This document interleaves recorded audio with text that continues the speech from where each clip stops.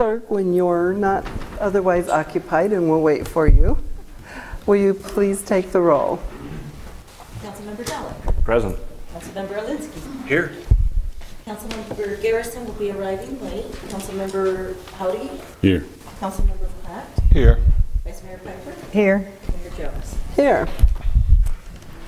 Okay, the next item is the Pledge of Allegiance, and we have Milt Cruver, who will um, come up and lead us in the pledge. And if you would just come up and share with us a little bit of information, I know that you're a veteran.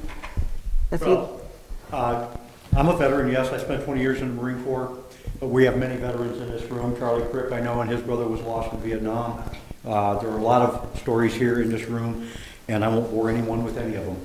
But I do want to say that, uh, especially with the things going on in our country today and overseas, we need to think of our veterans that are serving right now. And- Absolutely. And keep them in your thoughts and prayers. absolutely. Okay, Mayor, council members, uh, ladies and gentlemen, if you please join us in the pledge to our flag. I pledge allegiance allegiance to the flag of the United States of America and to the republic for which it stands, one nation, under God, indivisible, with liberty and justice for all. And we have a certificate for you. So you'll have to come back up.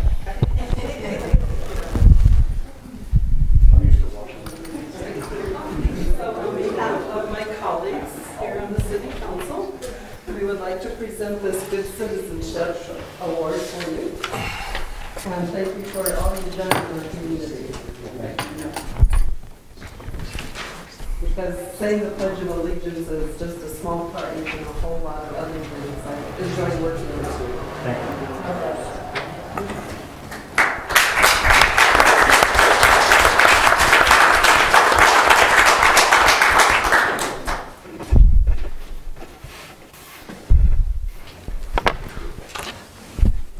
right, the next item is brief summary of current events by mayor, city council, and/or the city manager. And tonight we have Rudy Rodriguez um, as acting city manager. The public body does not propose, discuss, deliberate, or take legal action on any matter brought up during this summary unless the specific matter is properly noticed for legal action. Mr. Rodriguez. Just a second, Mayor. I seem to have lost my pages here. That's what happens with iPads sometimes. I- uh-huh. No.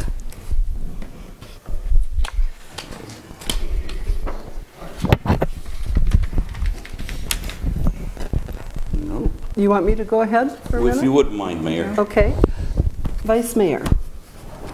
Um, I had the privilege Friday of going to the elementary school and reading to two third grade classes on Read Across America and Dr. Seuss Day. And some of them are still shorter than me, but I'm looking at them eye to eye. They're getting bigger every year. They're getting bigger and bigger. But uh, we went to the assembly, and um, those kids are so enthusiastic. It's a lot of fun to watch them from the third grade to sixth grade. And we've got a lot of good leaders coming up in our elementary schools and our, in our public schools. That's all I Council? Anything else? Find it yet, Rudy? If not, I'll... Um, I'll- Please, Mayor. Okay, go ahead. Um, All right, so February 20th, 20th, we had a general plan open house. And it sure would be great if we could get more participation. We'd really love our citizens to help us out with this, because it's their plan. But we had a fairly good attendance. And we will be having another open house at, on March 26th, 2014, from 5:30 to 7 p.m. In the meantime, you can read the general plan, the proposed plan, on the internet, www.cottonwoodaz.gov, and you can make comments also. So on May 6th, um, Okay, on April 21st, then the plan will go to the Planning and Zoning Commission. On May 6th, it will go to the City Council. And on No- November 4th, it will go to the citizens of Cottonwood to vote on. On the 21st, I attended a League of Women Voters brunch, it was called, and I spoke there, also Barbara Litrell, who's a councilor of Sedona, and Robin Whatley of Camp Verde, and we talked about women in government. And we had a special conversation with women about politics, and we were celebrating the League of Women Voters' 94th years in fighting to protect the right to vote for all. And we answered questions like, why did you run for public office? I also want to just um, take a moment to think about the Phoenix police officer who was killed yesterday and the two wounded. As I tried to research, um, I didn't find um, any place that shared their names yet. So just keeping them in your thoughts and prayers, their families. And um, Police Chief Daniel Garcia stated this is the worst part of policing, the hard part of policing, the tragic part of policing, and the part that always strikes a chord. And he said, not only for our officers in relation to losing a fellow officer, but for our citizens and for City Hall. So we pray that that's something that never happens in Cottonwood, and we appreciate our fine police department and all they do to protect citizens because as much as some folks like to complain, they really do every day put their lives on the line for us, and we should appreciate them. I'd like to congratulate Al Filardo as the newly appointed governing board member of Yavapai College. On Tuesday, February 25th, Vinny's Pizza had a fundraiser for the Teen Center. And uh, my husband, the guy that never shows up for anything, and I didn't, he surprised me, and he even came to the fundraiser. and it was just a lot of fun. We had lots of laughs and really enjoyed it. And um, Marianne Jimenez is the chair of that, and I understand that we raised about $800. Is that correct? Yes, $817. All right. So we'd like to thank Vinny's Pizza. They do a lot for the community. And also Ellen and Sherry Marks and um, Kathy Wambacher were there, and probably some others that I'm not remembering. But they, they do a lot also, along with Marianne, for this project. And I tell you what, for the little bit of money that this group has, they earned every cent. They have not gotten a gift of anything. They earned it through selling cupcakes. And I mean, they made a lot of cupcakes for the funds they have. So if there's anyone in the community who can support the Teen Center, they're going to open in a, maybe a couple of months or less. Uh, they're just working on accommodating all the city's request for OSHA and um, getting the building ready for the teen center. But they're going to be looking for volunteers, and I understand they meet the first Monday, The fourth Monday the fourth month. Monday of, right here in this every council month. chambers of every month at 4 4:30. p- 4:30 PM. So the fourth Monday at 4:30, if anyone in the community can help, and that's teens also, um, please volunteer, contact our city clerk. She's in the building right next door, and her phone number is 3402725. Okay. So on Wednesday, the police department held its employee awards ceremony, and employee of the fourth quarter was Officer Dan Lobby, and if I don't say these right, I apologize. Rookie of the year is Officer Cody Delafonte. Officer of the year is Detective Aaron Scott. Civilian of the year was Autumn Durnez. Communication Specialist of the Year was Melanie Corsat. Supervisor of the Year was Sergeant Garth Braxton. And Volunteer of the Year was Jack Van Wy. So on February 27th, I have to explain what happened. Um, and Patty May is in our audience tonight, but we together ran a marathon all over town, didn't we, Patty? um, just doing activities that I do, and she was shadowing me for the Verde Valley Leadership class. So our first of event, event of the day was going to the um, Cottonwood, or to Daniel Bright School, and um, we got to listen to Cottonwood Kids Conserve, and that's a program that the City Council has approved. And it's something where we're uh, teaching kids grades one through eighth conservation. But like the vice mayor, those kids were so cute. And Ms. Sims was from the Natural Resource Conservation District, was their teacher. And she had a, a big gallon bottle and a funnel, and then she had big cups. And each child in the room got a big cup, and they went around to see how many cups they could fill with this gallon of water. And then they all brought their cups back up. There wasn't enough water for the big cups. So they all brought their cups back up, and she gave them little cups. And they were able to see that when you use less water, everybody gets water then because they were able to fill up all the cups and have some left over. So it was really just a charming lesson in conservation. So I can see the first graders, as the vice mayor always say, says, going home to explain to their families about conservation. Um, At noon, Patty and I ran out to Yavapai College, who was hosting the Arizona Town Hall about early childhood education. Then we ran over to Yavapai Broadcasting, where we taped two shows, one featuring Yavapai College and another about the Verde Valley Teen Center. And you can watch those shows on verdevalleytv.com, or you can watch them on YouTube if you um, look for Verde Valley TV. From there, we charged off to the ribbon cutting for the Susan J. Um, Ream Adult Services Center, where we met up with the vice mayor and former council member Linda Norman, and we cut a ribbon for their new business. So, this adult daycare service center will be for adults with disabilities, and it will be to um, provide a lot of um, interesting things for them to do, a place for them to go if their families have to work. And so it sounds like it's going to be a great addition to our community. And at six, at 6 p.m., Patty and I ended our day with the Verde Valley Intergovernmental Meeting. And then on Monday, we had lunch to debrief and talk about my goals as the mayor and other such things. So I want to thank Patty very much for hanging out with me that day. It was great to have a partner.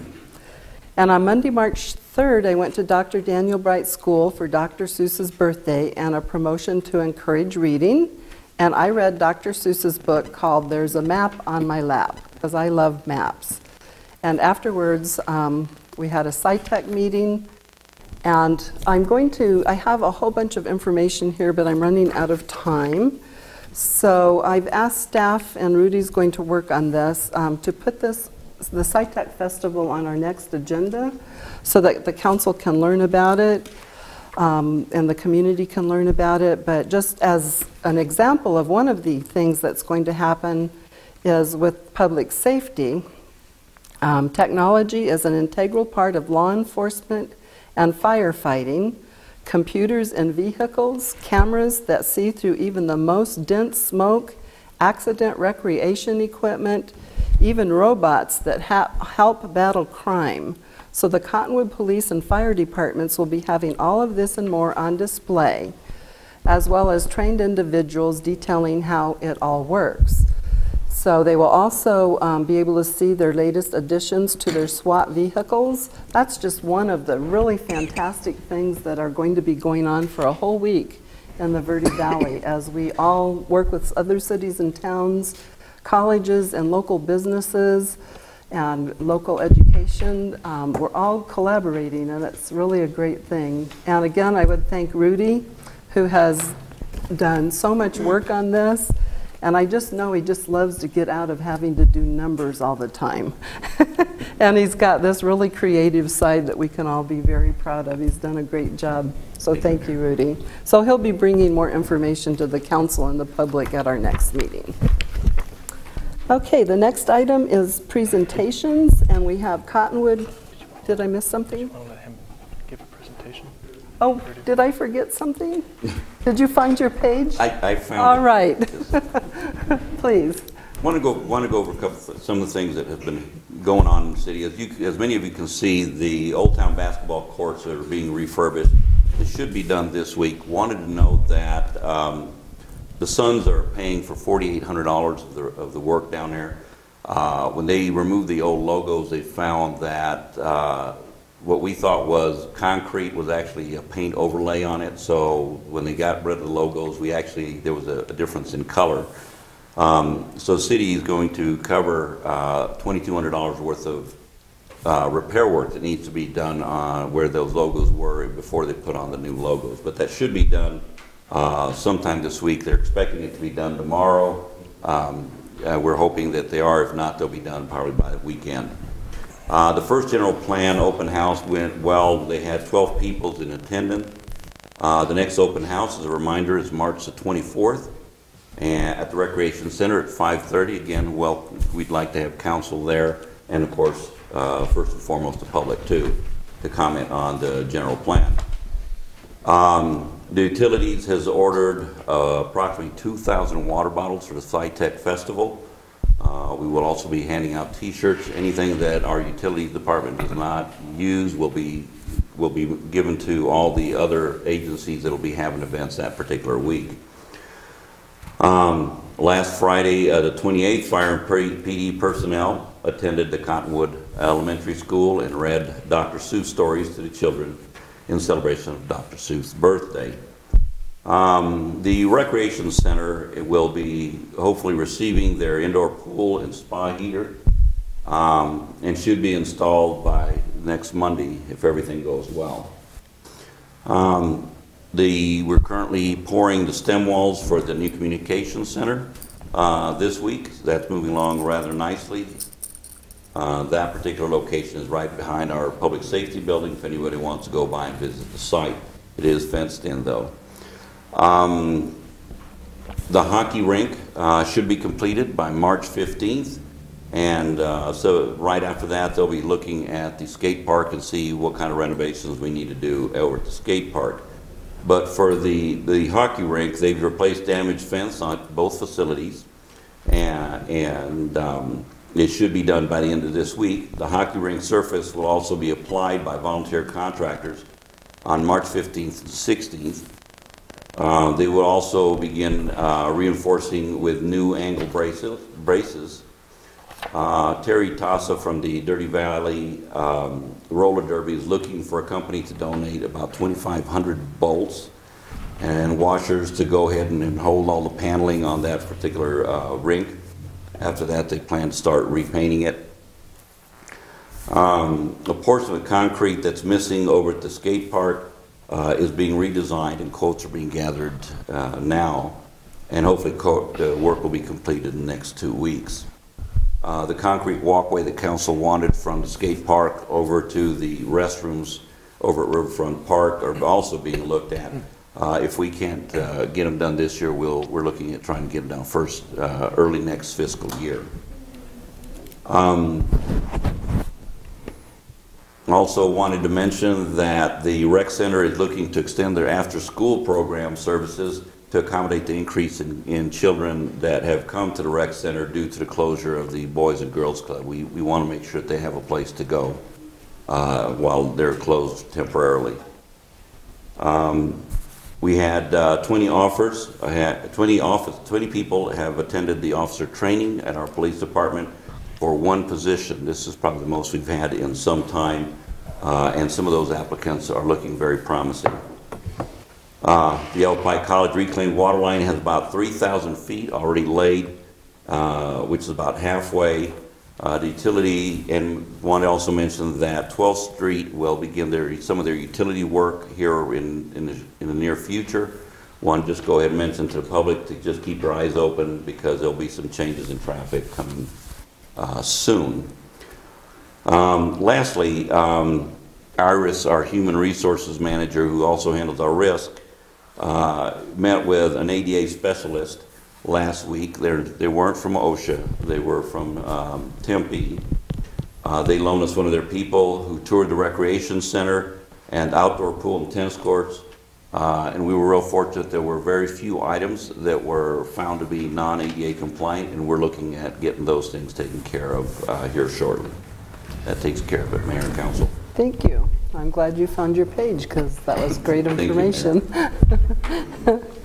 Okay, so the next item is presentations. We have the Cottonwood Homes for Our Troops fundraising committee in grateful recognition of their efforts to support the completion of Sergeant Jordan Maynard's home. And at the key ceremony, the Verde Valley was given this plaque that says what I just said.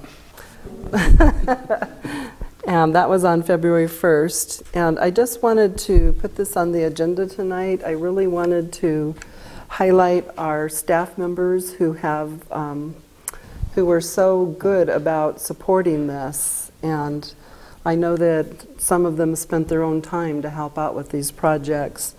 But as I recall, and I'll ask staff to correct me if I'm incorrect, but I recall that, um, of course, Parks and Recreation was highly involved.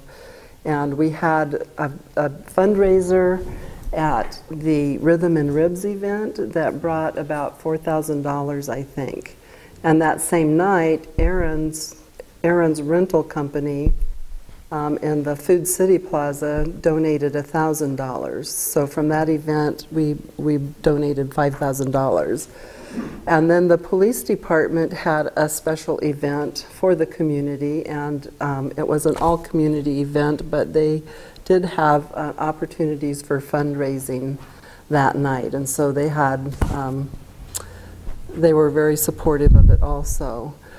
Um, Our police department, and I guess there's no one here from the police department tonight, but I know that they, um, they did a lot for, for the cause, and um, Doreen Lewis from, from Homes for Our Troops in Massachusetts at the very last minute was like, we don't have an escort, we don't have an escort.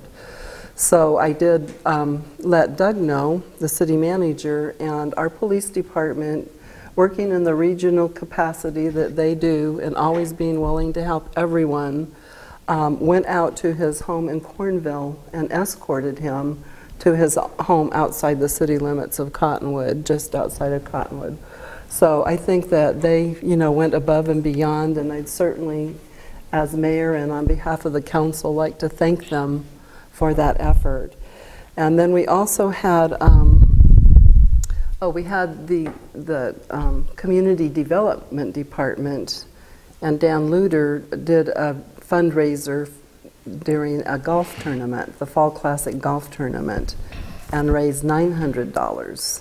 So I'd like all of them to come up to be recognized, and also um, I would like Milt Kruger, who is who has been working worked a lot on both the landscaping project and also the the um, key ceremony. And then right now he's working on another project that um, that Jordan has said that he would like, which is a fence around his property. So this is something that our community um, will, you know, will have to keep doing a little bit of fundraising probably to help out with this. And also, we have Pam Van Winkle with us, if you would all come up. And Pam did the first, very first fundraiser, I think it was the spaghetti supper, and that raised $6,000.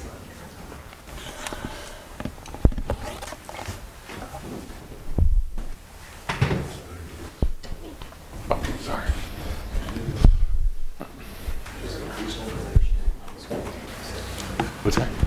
So if you could have, uh, if you could have all of the council kind of stand where you are.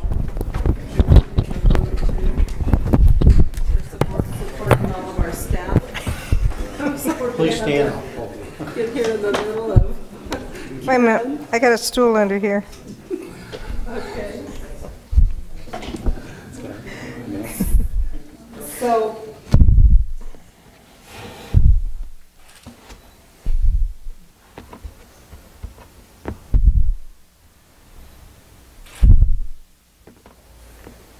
what we could do with this, okay, and it was presented to, you know, um, he lives in Cottonwood, and so it does say Cottonwood, but I do want to stress that it's the entire Verde Valley. Everybody that helped was a recipient of this plaque, didn't matter where you lived. So I just don't know if, would you like to like take turns showing it off in your various buildings? We'd love to at ours for a while, and then we, you know, I know that we also have the We have a trophy facility, so case. with the trophy case. Right. So that'd be great. So, Okay. all right. Thank you all very much. for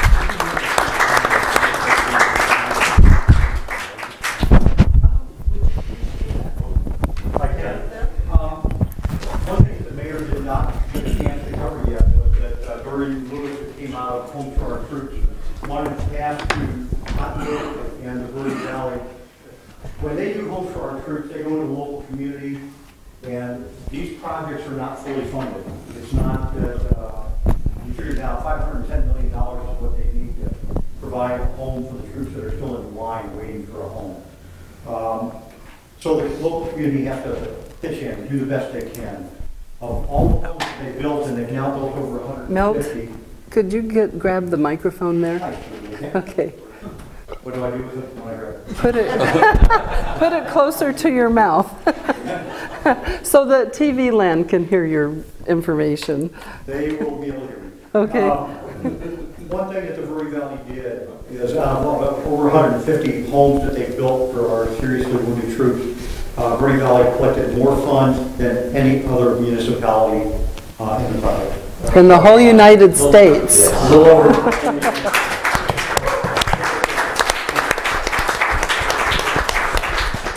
Thank you, Milt. Yeah, we, we collected $26,000 altogether, and we did the best of any other community in the nation of Wow. supporting Homes for Our Troops. That's because we're awesome. We are. We care about those who have served and are serving also very much. All of us do. Okay, thank you all very much. The next item is called to the public. This portion of the agenda is set aside for the public to address the council regarding an item that is not listed on the agenda for discussion. However, the council cannot engage in discussion regarding any item that is not officially listed on the agenda for discussion and/or action. Comments are limited to a five-minute time period. Is there anyone, is there any member of the public who would like to speak tonight? If not, we'll close the floor to the public and go to the next item. The next item is approval of minutes. I read them, they looked fine. I would make a motion to approve the minutes. Second. Okay, uh, and Mr. Dowling seconded it. All in favor? Aye. Aye. Any opposed? Motion carries. And that was the regular meeting of February 28, 2014. Comments regarding items listed on the agenda are limited to a five-minute time period per speaker. The consent agenda. The following items are considered to be routine and non-controversial by the council and will be approved by one motion. There will be no separate discussion of these items unless a council member or a citizen so requests, in which case the item will be removed from the consent agenda and considered in its normal sequence on the agenda. Item number one is consent of assignment of tenant rights for Lot 116 of Cottonwood Air Park from Backus Investments LLC to Kent R. and Judy Backus. Would anybody on the council like to pull this item for discussion? Would anybody from the, um, from the public like to pull the item for discussion? If not, I would entertain a motion. I move Mr. to- I move to approve the consent agenda. Second. Mr. Pratt made the motion, Mr. Elinski seconded it. All in favor? Aye. Any opposed? Motion carries. New business. The following items are for council discussion, consideration, and possible legal action. I would like to just kind of switch around the items here, um, because I know the first one's going to probably take quite a long time. So if we could run through the other two fairly quickly, if, if that's the council's pleasure. Okay, item number two is agreement with the Verde Valley Fair Association and Yavapai County transfer control and responsibility over the Cottonwood E- and responsibility of the Cottonwood Equest- Equestrian Center to the association. Mr. Scott. Thank you, Madam Mayor, members of the council. Uh, You may remember that uh, back in 2005, excuse me, back in 2005, uh, the county, the city, and the fairgrounds got together and formed what's been called the uh, Cottonwood Equestrian Center. It's been very successful. In fact, um, several years in a row, the uh, Arizona Rodeo Association rewarded the arena as the best in the state of Arizona. Uh, Great volunteers as far as getting it started. Um, The county contributed a a significant sum of money in order to get the uh, uh, facility built, and the city's been maintain- maintaining it ever since. A combination of several things have occurred. One, the volunteers have, have declined. I think as, uh, as city staff was expected to start taking over, the volunteers uh, declined slightly. Um, not, not any less enthusiasm, they just thought, hey, the, the void's being filled. And two things happened as a result of that. Unfortunately, our staff, they're, they're streets maintenance staff, they're, they're not arena specialists, and, and it didn't get taken care of as well as it did when the volunteers who were experts in the area took care of it. It's also been a significant um, cost to the city. The city estimates that we spend approximately $30,000 worth of man-hours per year at that arena. Uh, Therefore, we got together, I think it's been happening for close to a year now. We've been working with the fairgrounds to say, what would it take to, for the fairgrounds to take this over? Um, Not only could they, if, if they take it over, the insurance requirements from everyone who wants to come in to use the facilities would be less. The fairgrounds could use every event there as a fundraiser. Right now, they would be very limited as what, how much they can raise funds, what they can sell. And so we've been working out an agreement. The fairgrounds had some concerns, and those are spelled out in the agreement. Um, right now, the city has a water truck and a tractor that are not used at any other facilities except for at the fairgrounds. So staff would like to recommend we donate those facilities, uh, I'm sorry, those two pieces of equipment to the fairgrounds uh, as part of this agreement, uh, as far as them taking over maintenance of the fairgrounds. There's a few other items. There were some drainage concerns that staff's been working with the fairgrounds on. In fact, quite a few of those uh, have been taken care of or are being taken care of right now. Um, Another concern that brought this to light was um, when our risk management department found out we had an equestrian center. Because on paper, it didn't say we owned it, but we were responsible for maintaining it. So they were worried from a risk management point of view, any liability would very likely come back on both the fairgrounds and the city. But uh, risk management very concerned about that, so especially since it wasn't being kept up par as it was when the volunteers were taking care of it. So this agreement, as drawn before you, uh, the Fair Board has already approved it. Uh, The County Board of Supervisors has not yet approved it, however, it's on consent agenda for their next board meeting. And we have verbal agreement from uh, Chip Davis that he wants to support this. Uh, Fairgrounds is very excited. They've already, I don't know if you've been by there recently, but it, it looks really nice. They've upped their volunteer hours, and so this is going to be a pretty nice facility. Uh, Upon approval, should the council approve this, uh, upon approval, it will immediately transfer hands. However, the city will continue to pay the electricity bill until the end of this calendar year. And that's just one of the concerns, kind of letting them get their feet wet, get a little bit of, um, you know, one season behind them in order to raise some funds so they can start to fund themselves. So that's how the agreement's drafted right now. Okay, great. Uh, Mr. Pratt? Yeah, I I read through this pretty carefully, and uh, although it looks to be costing the city a little bit, when you consider the amount of money the city's saving, it's kind of like removing an albatross from around one's neck. This looks like a good deal to me. And we have um, Mr. Charlie Crick here tonight, and I, you're on the board, is that correct? And uh, Jerry Brown, the chair, called me this afternoon and wasn't sure anyone who would be able to be here because he's out of town. And he wanted to say that he definitely is supporting this and um, appreciates the council and the city's um, work with it. Did you wish to say anything, Mr. Crick, or add anything to the conversation? I'd just like to thank the city and all the staff for their efforts that they've put forth so far in this agreement. It's been a long road, but we just hope that we can continue to make this facility a great asset for the city, and it'll generate revenue for the city and, and for the public and hotels and everything. We're already booking some pretty good events coming up, so we, we really appreciate it if we can pass this tonight. Thank you. Thank you. And just to share a little bit of history about this equestrian center, some um, Reuben Jauregui and Karen Pfeifer, who else was on the council? I think myself. We were on the council when a group of citizens brought to council, it was back in about 2003 or 4, um, that they really wanted to have a, an equestrian center. And at the time Supervisor Davis was able to access a, an arena and um, they wanted to put this down at, at where um, the landing is, down by where the community garden is. And I was like, oh, you know, that's just going to add a lot of, of activity in a very pastoral location. Um, it has a lot of activity now anyway, but um, so I was talking to um, a few citizens and suggested the fairgrounds at the time, and um, so they all worked, everybody worked together, the city and county and the fairgrounds. And so this was created, and that was how we got Hezekiah Allen.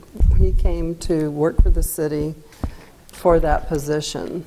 Of course, then he got very, you know, I mean, there was so much more to do in the city, so he got um, taken away sometimes from that position. So it, it ended up maybe suppos- supposedly being a half-time position that, that he was doing. Then he got all kinds of extra things added to his schedule of duties.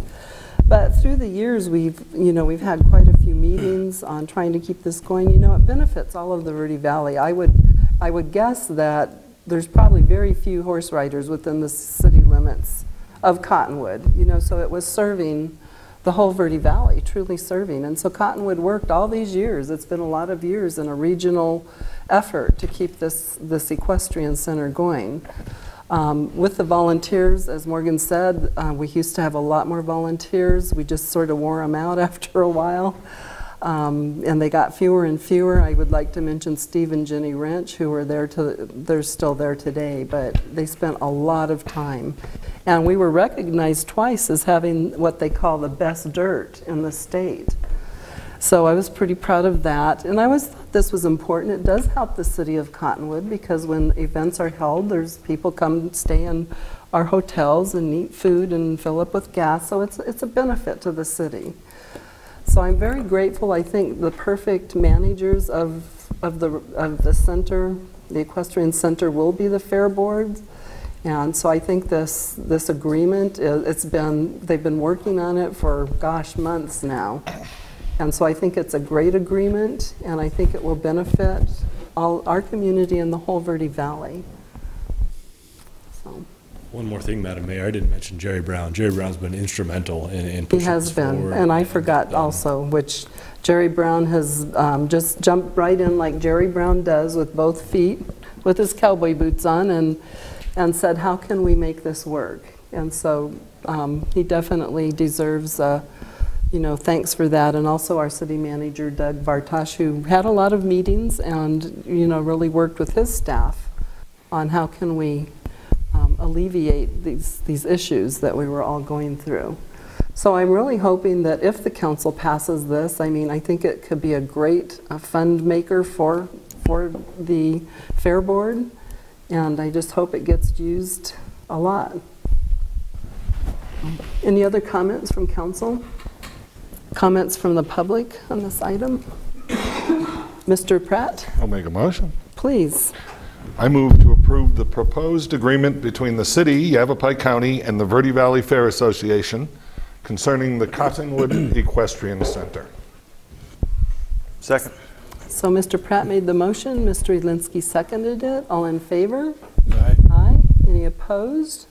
Motion carries. And my last thanks go to Morgan Scott, who has put in hundreds of hours, probably while he's babysitting those two babies at home. He's been working on the equestrian center. So thank you. Okay. Item number three is the request by the Old Town Association to close North Main Street in Old Town from Pinal Street to North Cactus Street and the Old Jail parking lot for the proposed Run for the Roses event scheduled for May 3rd, 2014. Mr. Allen. Madam Mayor, Council, um, thanks for your time this evening. Uh, The Old Town Association has been gaining a lot of steam lately. Uh, They have a great board of individuals that are made up of businesses throughout the community and mostly in Old Town. And as you know, running a small business is, is quite a task by itself. Tonight, we have Cindy and Lindsay with the Old Town Association. They're going to kind of present the program format um, so that you guys can decide whether or not to close down the street for the program. So Lindsay? So we have Patty May, Cindy B., and Lindsay Higginson from the Old Town. Patty Patty's a great community volunteer. Patty's on the committee as well. Patty's our newest board member. and is Congratulations. art fair portion of the Run for the Roses. Thank you. Um, This is the first spring event. Uh, You know, of course, we have the 20th anniversary of our chocolate walk this last year. And we're very excited about that because the chocolate walk has established in the community, and we felt that it was time that we stepped up to a spring event. To bring the same kind of traffic and support to the Verde Valley.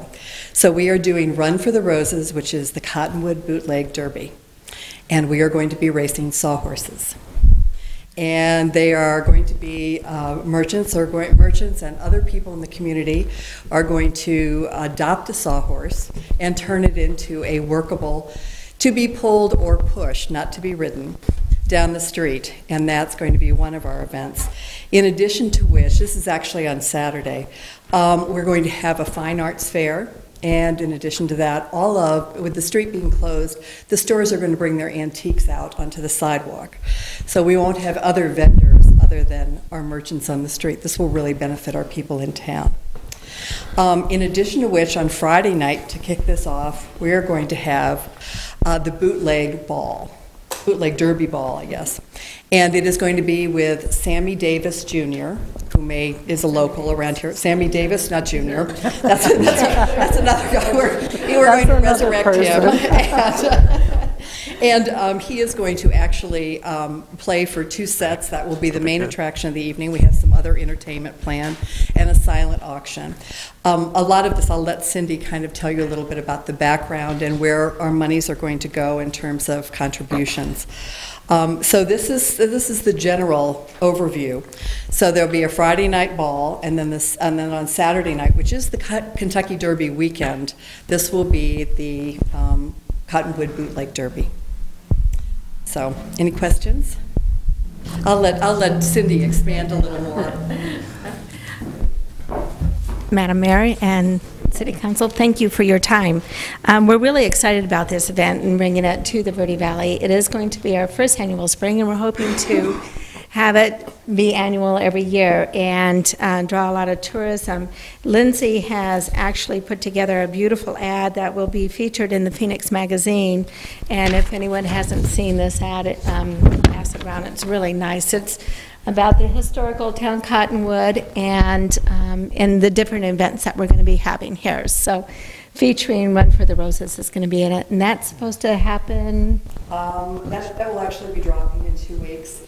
Then the Cuisine of Arizona, which is the year-round magazine, this will go in that as well, and it has a list of all our events, city and OTA, in there.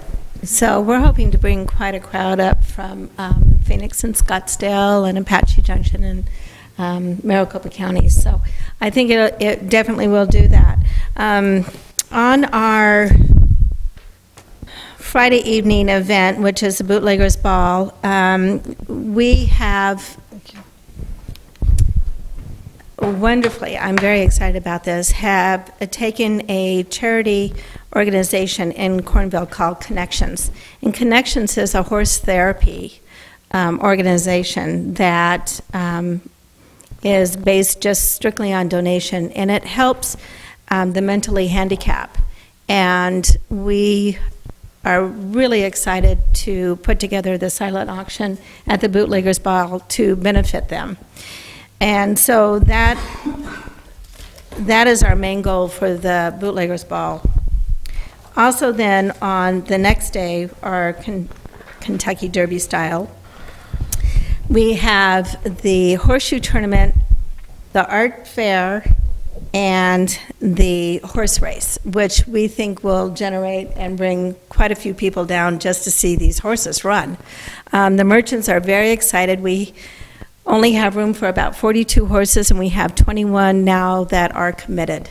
And so they're very excited about building their horses and pulling them down the street. So um, we're looking forward to that. And if there's any questions or anything else we can answer, do you want to talk about the art fair a little bit? yeah. For our art fair, we are inviting. If you want to get over closer to the microphone there, so the pu- the public like can hear you. Here, and I'll have to turn this one down. down. so the art fair this, for this this year's art fair, we're inviting artists. We hope to have 30 artists and vintage antique dealers in the old town jail parking lot area and we are inviting people to present fine arts um, and crafts, ceramics, jewelry, and watercolor and oil paintings.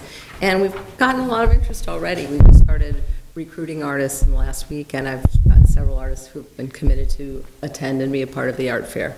So we're trying to up that ante a little bit and make it very um, special in that we're really inviting people that we feel would bring a lot of positives to the Verde Valley Art Fairs. Okay, Mr. Pratt? Yeah, I actually talked to a few merchants today who are really excited about this, anything that brings people to town. And it occurred to me, this also kind of fits in with our branding um, as not just a wine tasting center, but also an event center. It's just another event that's going to bring people to town. And obviously, when you bring people to town, they spend money and it's good for the city. So it's just another cool thing going on in Cottonwood, I think. And somebody said, a sawhorse race, that's cool. and very unique. Yeah. So I'm excited about it, and I think a lot of people are. We're hoping there'll be a horse from the city. Mm. We're hoping. We could do that. So on your poster, you have a real horse. Are you planning to have one hitched up down here Well, somewhere? this is actually a sawhorse in the, in the little. Oh, that big, Oh, oh, the big real horse? yes, Yeah, right, But down in our logo, that's from. that big horse. Drop down a little. That's our sawhorse, that's Patty's. That- New logo. that one? Yes, no, that's a real horse. Okay. You never know about these artists. They're pretty good sometimes. But we're using the, uh, the sawhorse down below as our logo for this, for this. This uh, one right here. Right. Right. The other thing is, we're trying to list, and with Hez's help through Parks and Recs, we've actually taken to listing all of the events that will be here in town, you know, up until the end of the year. Great. So that gives them a real feeling and Mhm. dimension of what we offer. Right. We put, all put that on our emails and, Please. yeah, Please. Was the year's activities. So um, I do see here that, that the Old Town Association will work with and pay a traffic control company to provide detour signs, road closed signs, personnel, and a traffic control plan, subject to the approval and modification of the city's Public Works Department. And I think that was one issue. Every time we closed down the street, it cost us a couple of thousand dollars at least. And so that is why staff wanted to bring it, you know, to the council. And then, of course, um, this is an avenue now that the public has, they're able to speak on this issue if they wish. So we can take public input um, At this time. at this time, to, you know, to see whether there's anyone who disagrees with it, or everybody has a chance then to comment. Thank you. So, Thank you. yeah. Yeah, so I would ask members of the public that are here if you'd like to comment on this item. If you're for it or against it or whichever. All right. So, any, any other comments? Mr. Hez? Uh, I'd also like to mention to council that the Old Town Association did visit businesses and residents throughout Old Town to invite them to this council meeting if if there was any issues on this topic. So you did get the word out? Yes. About this meeting? Mm-hmm. Okay, so if if they cared one way or the other, they had an opportunity to make a difference? Yep. Okay. Correct. So, council, any questions, comments, further? I guess that the only, I'm really excited about the event, obviously, and I, I just think that the traffic on Cactus Street can, can be kind of difficult at times when they close Main Street. So um, it's getting worse and worse, not because of events going on, but because people are now using Cactus as sort of a detour to get around Main Street when traffic moves slowly. So I would just ask that we're just a little more sensitive to that um, with this event because people do tend to fly down that street, and there's families that live along there and, Yep. And that kind of thing. So if And- we could and maybe babies. and babies. Maybe we could temporarily post, um, And small you know, children? 15 mile an hour speed limit or something and try to keep that monitored or something because it, it, it can be dangerous at times. A lot of pedestrian traffic now too, going to Bocce and the new restaurants down there, you know, from the new parking lot. Then they walk down, there's no sidewalk, so it's, it can be hazardous at times. I've witnessed a, And- And that's a great point. And uh, Thunder Valley Rally was one of those times where we have issues with that as well. And Public Works Department stepped up and handled it greatly by assisting us with the traffic control plan. And that's what the Old Town Association is going to submit to the Public Works Department, get their review, and then contract out to a traffic control company to assist with the actual road closure. Um, So it's not a burden on the city. Okay, so I would entertain a motion. Mr. Pratt? I'll move to approve the closure of Main Street from Pinal Street to North Cactus, along with the Old Town Jail parking lot, on May 3rd, 2014, from 4 a.m. to 8 p.m. Second. Okay, Mr. Pratt made the motion, the vice mayor seconded it. All in favor? Aye. Any opposed? Thank you all for your hard work. I know you're spending lots of hours on this project, so we appreciate you. Okay, moving on to the next item is um, proposed sale of the old recreation center building located at 791 North Main Street. Mr. Horton Madam Mayor. and Mr. members. Rodriguez. Are you tag teaming on this? Um, uh, Ms., uh, Steve will go ahead and handle it, most of it. Okay, Doug's name was down here, so I didn't know if you had, we're going to both share information or however. We'll see. You may. Please lead the Um, way. Madam Mayor and Council, just, just by way of background, uh, we've, we've discussed this matter several times, but at uh, council direction, uh, last fall, the city issued an RFP uh, soliciting interest from parties that, that would want to acquire the old rec center property and redevelop it in a way that, uh, and, and we didn't put any restrictions on what it might be redeveloped into, other than the underlying entitlements for, for the zone. Um, and knowing that it also lay within a, a designated historic district. Um, I, I think the thinking behind that was we were looking um, to see what people might propose to enhance, complement uh, what's currently down here.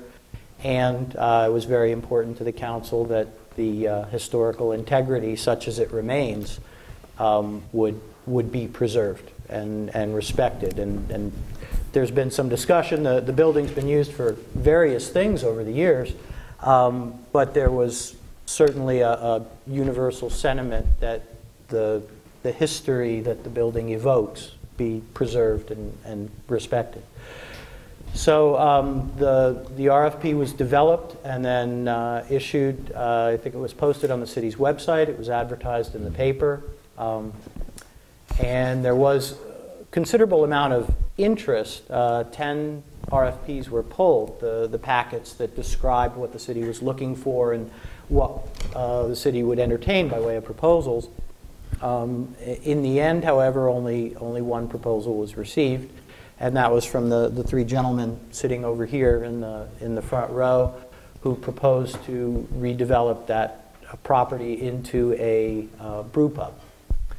Uh, and uh, we have had uh, a number of discussions back and forth. Uh, there's been direction from the council, there's been proposals by these gentlemen, and I can go over the, the major transaction points um, that, that have been developed and are before you tonight for your consideration, discussion, uh, and, and comment from the public before your decision. Um, the, the purchase price uh, would be $150,000. Um, I think it, it bears mentioning that there was an appraisal obtained before the RFP issued um, for the parcel of property on which the building sits. Um, and that appraisal was for $224,000. Um, at the council's direction, however, and, and the RFP included this, uh, the city's intent was to resurvey that parcel so that the city would retain um, certain land and for the purpose of developing that into public parking, not parking just devoted to that specific property. Um, so the, the recalculated appraised fair market value of the property uh, was $150,000. So right now, the, the proposal would be to purchase the building um, and, and a very little bit of property around it for $150,000, uh, as long as $50,000 of that at least was allocated to improve the parking that, that's being, or the parking on the, the lot that's being retained. Um, We have negotiated uh, deed, certain deed restrictions that would go actually run with the property and be recorded with the deed. Um, The property could not be sold or conveyed to any other party other than to whom it, it would be going uh, without the city council's approval. A- And that's to ensure that, that the property doesn't um, get sold pursuant to an understanding that it will be one thing and then, and then wind up being another. And that would run for, I think I mentioned, three years.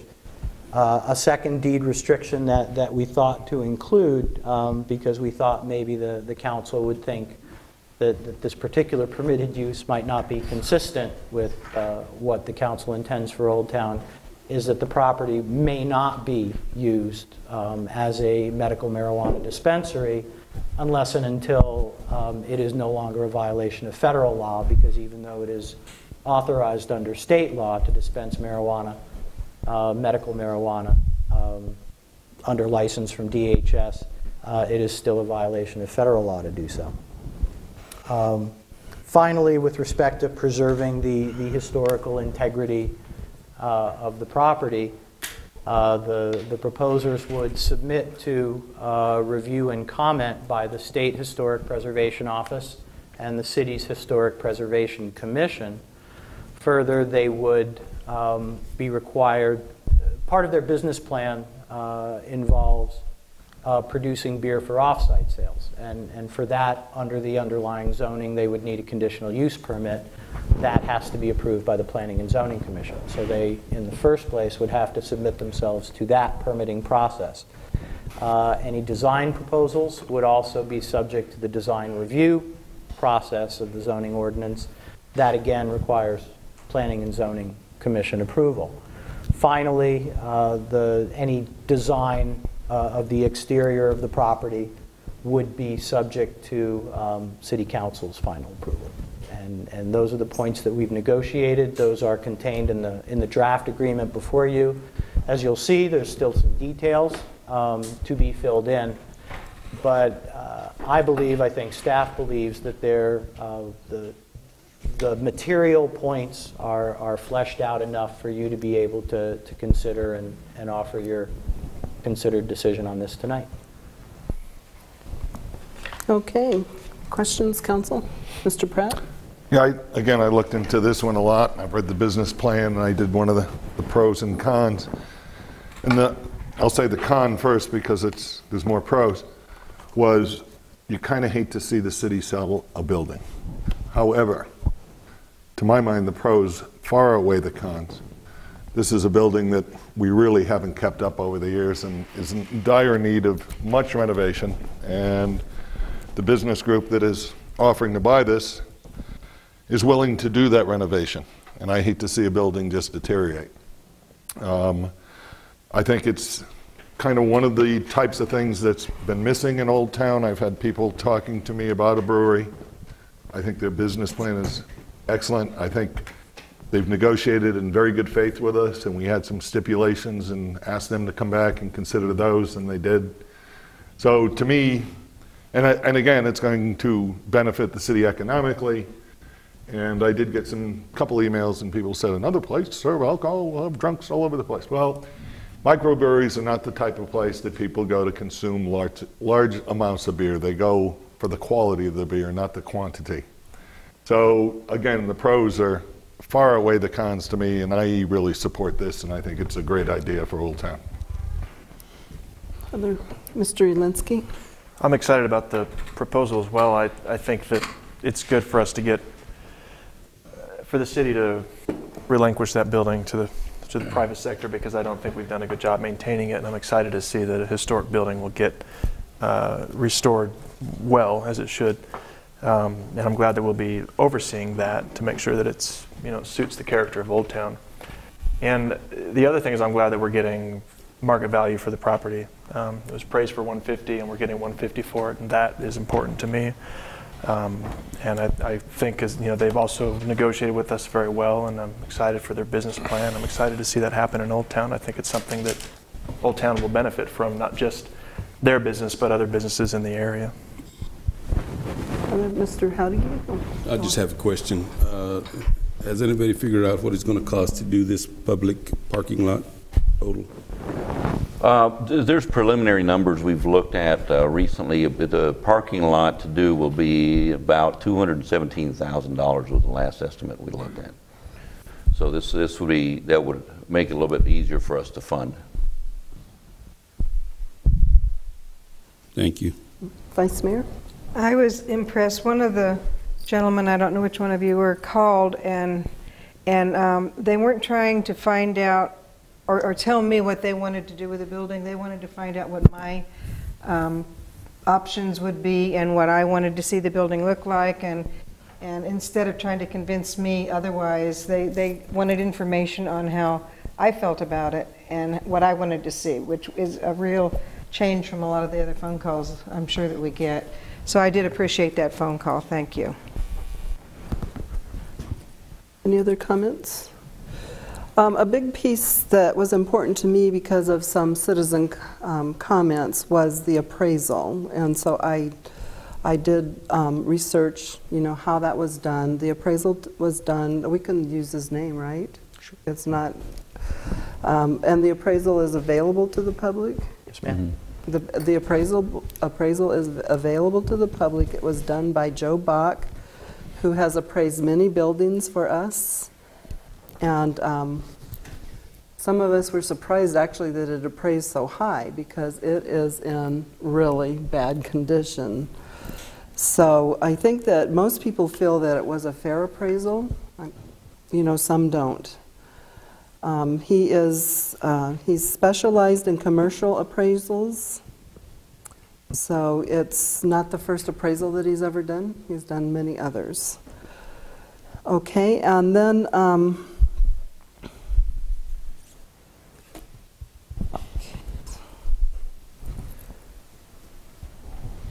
Another concern about some members of the public that I wanted to ensure that we got um, answers to was, you know, how did we advertise this? And we advertised it the same way as from what I researched, that we do other projects of the same kind.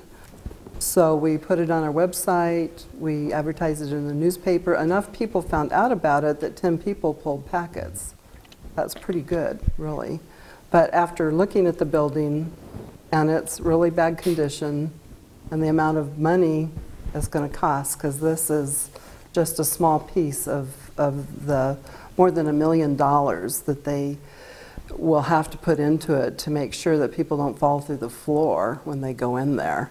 Because we had to close it down many years ago. We couldn't have dances or um, people couldn't exercise on it anymore. We had to close it down. That was really a sad day for me.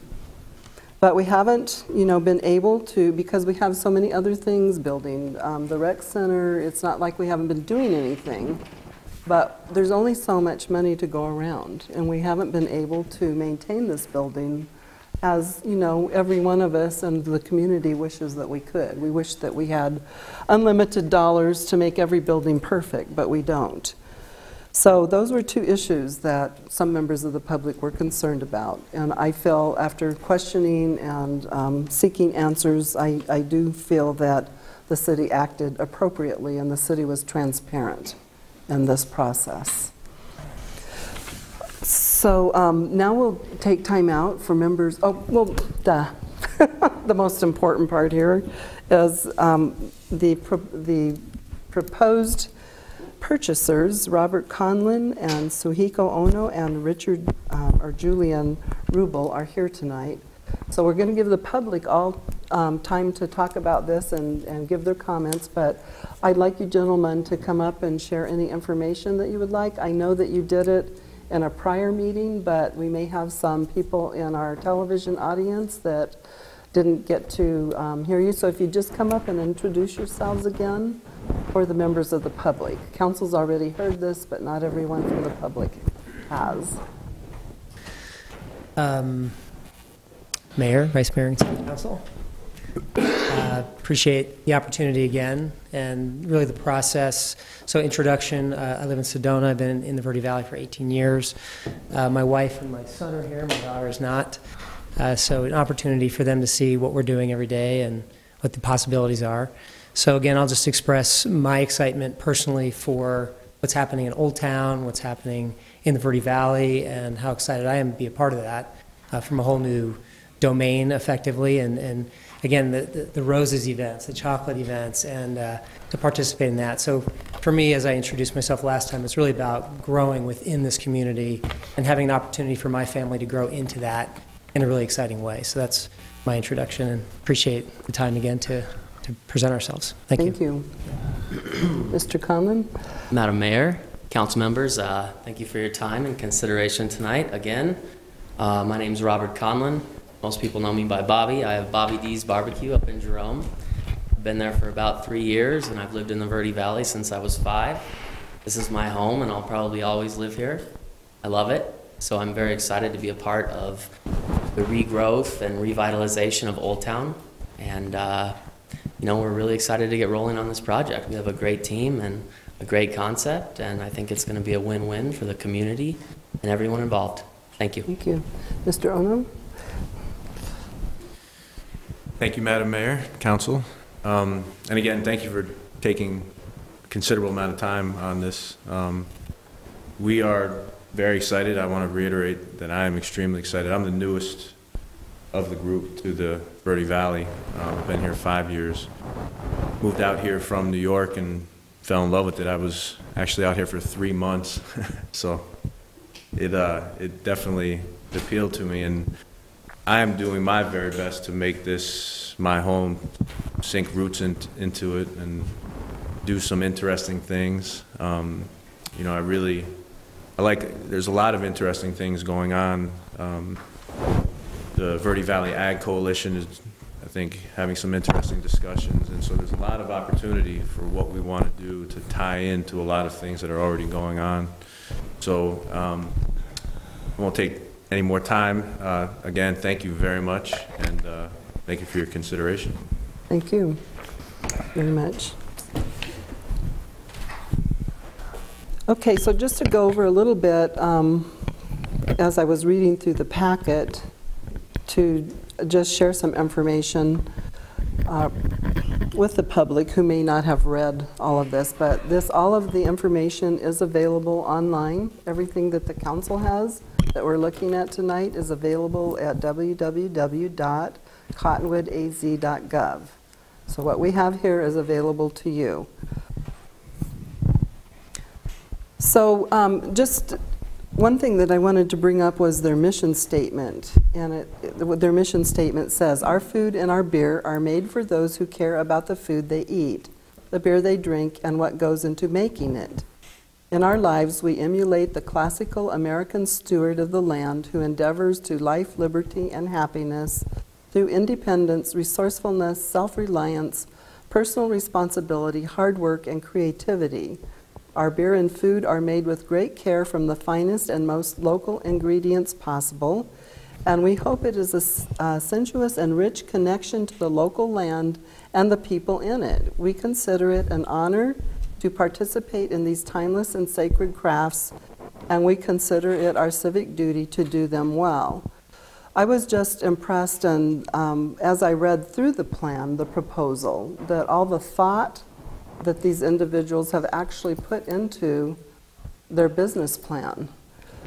Um, they talk about, I mean, even though after they do sink about a million more, a million or more dollars into this building to bring it up to city's codes and, and make it into a nice building, um, very often, as I was reading, it can take a year or two before there are any, even any profits promised.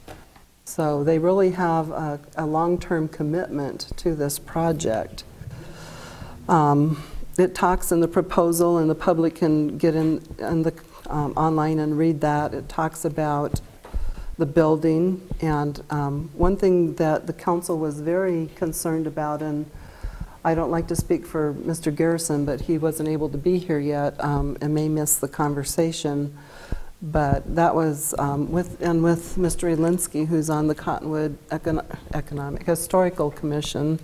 Is that hysterical? Oh, Uh, historical. close to hysterical. Okay, We're- yes. we're getting Okay. So, um, there were a lot of, of council members, Mr. Howdigee, uh, all of us, all of us were concerned about how the building would return, retain its historical value.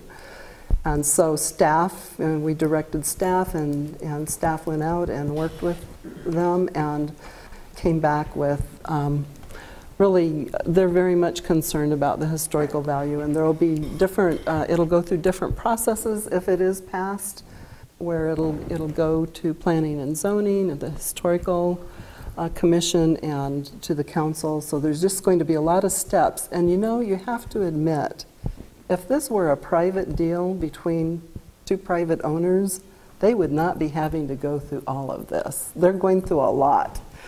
And it's, I mean, it's just more difficult when you're working with the city, when you're working with property that's owned by the public. And so I, I commend you that you've been able to tolerate it. I know it's been difficult because we're really fussy about that building and what it's going to look like. We've even asked you, we, we don't want it to be flipped. That was a concern of the council. You'd buy it and sell it to somebody and make money. We didn't want that. So you've committed not to do that. So uh, I really think that working with our staff, that the council gave direction to, that, that we have come up with a good plan. Uh, the Mother Road, you think about, um, that's the brewing company that you'll be working with up, up in Flagstaff, and I guess the, the Mother Road, is that Highway 89A? Is that, I don't know. 66. Highway 66 is the Mother Road, okay. Route 66. But. Highway 89A goes through both, um, beside Route 66. um, I, that business is probably not even named for Route 66. But It it's still the Mother Road. I just, I like to think of, we're connected by 89A, our communities. So um, just some other, other things is you, you both, you all have um, families here and your families here. As, so you, you know, you have a commitment to the Verde Valley and to Cottonwood. Um, Going through the financial um, information, um, you really just have thought, you've thought about it a lot. And, and so, anyway, um, I would like to invite members of the public if you um, would like to comment on this plan. And I know that Joan met with me out in the public, and I invited her to come and speak tonight. I've been a member of this community, actually, not Cottonwood, but only by about. And so Rudy's going to, Rudy's going to help you with the microphone there. I can figure that. I've been a member of the community for 32 years, and um, I'd like to see the changes that have happened in Old Town. And for the most part, they've been real positive changes. And over those years, I started as walking when I first came here. And when the cot, when the tavern, the old um, movie house burned down, I actually watched it with my little sister, with Big Brothers Big Sisters. We had gone there, and and I was and I was like, oh, I wonder what they're going to do because now, hopefully, they'll make it accessible. It was a time when I was transitioning to more of working in, in a wheelchair. So now that I'm in a wheelchair, I try to attend events in Old Town, and for the most part, they've been accessible. Once in a while, there's a minor exception. Um, Mr. Pratt has helped me out with one of those and gave me a suggestion with a bandstand in the corner. My concern with the building was from the architectural drawing, I couldn't tell if there was any um, handicap access at all for wheelchairs, number one. And then it was kind of a side thought because I was picturing the old um, theater and with the uh, disasters in Katrina and New York especially, I have a, uh mobility, new mobility magazine, that's a disability magazine. And they were addressing um, ac um, getting out emergencies. So then I was asked, thinking, well, one elevator isn't going to do it, and it- would there be a backup plan for evacuation in case of a fire or an emergency within that building? And it wasn't, it wasn't obvious to me on the architectural plan. And now that I hear the city is talking about parking and the parking lot change, I would be real interested to um, know where accessible par- parking might be, since that's a very difficult street area to cross in Cottonwood. It's busy, there's a curve. Absolutely. And so I wondered if anyone could address those. And that would probably take a team of city members, and I don't know if we've discussed that yet for this project, but we have to comply with We have- ADA. We have to comply with all ADA requirements. The initial drawings that we saw in the parking lot will, will have uh, some handicap acce- uh, accessible parking lot, parking spots over by the, um, the current uh, Civic Center. Right now, it doesn't look like we have any Yeah. accessibility because the, the pavement is, is. Very difficult, yeah. Real bad. Mm-hmm. But all that has, has already been looked at, and before it even, before we even start breaking ground on the parking lot, we will be coming to council, we will comply with all ADA requirements. Mm-hmm. So for our end, we will have a a handicap accessibility. What about the building? So that So if you want to come up to the microphone? You know, that's an issue that we've also given a lot of thought to, given the unique structure of the building with a two-story structure. I'm not an expert on it. I've dealt a bit with uh, ADA requirements and regulations on my property in Jerome, but I have discussed that at length with uh, a couple of different architects that we've been consulting with. So we have some ideas, and our plan is to make sure that we execute them to where there won't be any safety concerns regarding ingress and egress of both floors. The bottom floor shouldn't be an issue at all, as it basically is on a smooth plane with the outdoor area. And then we can see possibly an interior elevator, and then some sort of maybe a lift or something along those lines at the main entrance to the upstairs portion of the structure. So that's definitely uh, something that we have taken into consideration. It's a building that, in 32 years I've been here, I've never been in. it. You know, at the time I was walking, it wasn't that I was studying enough to even walk up those steps. So I know I'm not going to be walking up them anymore. I know, and this, You know, I I know the Grand Canyon North Rim has some outside elevators, and I couldn't see that, you know, that might be a possibility from, to talk from the architect. Right. okay, thank you very much. Thank you. All right. And Joan, your last name again? Gray, Gray, okay, for the record. Okay, thank you very much. Okay, anybody else want to speak? And do I have any? No forms? there, so Okay. sorry about that. So that's all right. The- Uh, the- Tom Pender, 300 East Cherry, Cotton here. Um, I spoke previously about this, and um, I'm still not opposed to the brewery or anything along that line, but I think what I would ask the council to do is make sure that the the town is getting the best dollar for their, this building. And I would, I would ask, and you've got time to do it, to maybe uh, revisit with the uh, appraiser and explain to them the parking that's going to be developed by the council and have them to reevaluate their appraisal. I think it's going to come back, I think it's going to shock you. Because when, when that part of the equation is put in there, I think that the- there's a lot more value there. And it may not have been presented um, as clearly as it is now when you send out the request for proposals. So I think that at the end of the day, the community, uh, I'm just looking at this for the community's sake. Uh, The community could probably uh, get more value out of that building because of what we've already committed to doing and building a parking lot. Uh, The use, I think it's a great use. Maybe uh, if we come back with an appraisal and they're still happy with the number and and all that, since they're, they're talking about putting a million dollars into the project, then maybe we just move forward and everybody's happy at that point.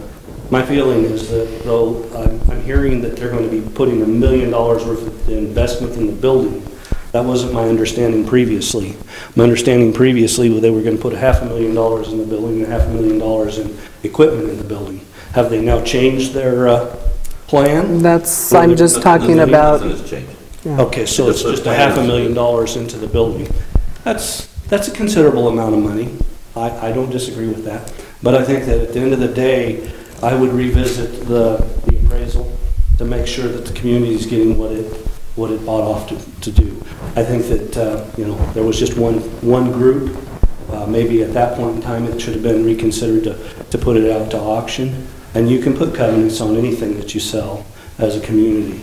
Whatever you want that to be, you can sell it as that. And maybe it would come in at this or, or higher or lower. I don't know.